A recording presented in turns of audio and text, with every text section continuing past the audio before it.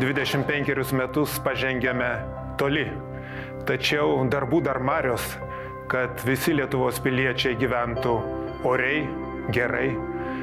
Tad su didžia mūsų švente ir susitelkime socialiai teisingos, vieningos, taikingos Lietuvos kūrimui.